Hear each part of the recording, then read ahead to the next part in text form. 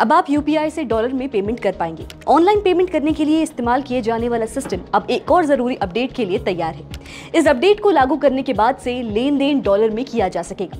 अगर ऐसा update UPI में आता है तो अब दुनिया के दूसरे देशों में ट्रांजैक्शन करना भी काफ़ी ज़्यादा आसान हो जाएगा। इसमें ट्रैवल करते वक्त भी आपको ज़्यादा दिक्कत का सामना नहीं करना पड़ेगा। National Payments Corporation of India भारतीय रिज़र्व बैंक के साथ मिलकर जल्द से जल्द इस बदलाव को लाने और लागू करने के लिए स्विफ्ट के साथ इस पर चर्चा कर रहा है। रिपोर्ट में कहा गया है कि इस इंटीग्रेशन का लक्ष्य यूपीआई को सीमा पार डिजिटल ट्रांजैक्शन को सबसे आसान करना और सेफ़ बनाना है, ताकि आप आसानी से विदेशी करेंसी में भी अपने फ़ोन से पैसे ट्रांसफ़र कर सकें। ऐसी ही एक टेक्नोलॉजी है SWIFT Society for Worldwide Interbank Financial Telecommunication अगर आपको एक से दूसरे देश में पैसे ट्रांसफ़र करने हैं तो आपको स्विफ्ट की ज़रूरत पड़ती है।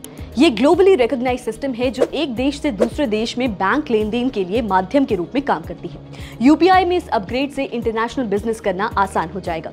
साथ ही आप बड़ी आसानी से विदेश में ट्रांजैक्शन कर पाएँगे।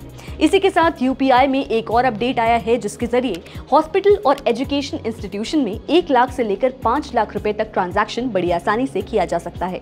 इतना ही नहीं, विदेश से भारत आने वाले पैसे पर लगने वाली लागत को कम करने के लिए ई आर यूपीआई जैसे डिजिटल करेंसी भी लाई जा रही है।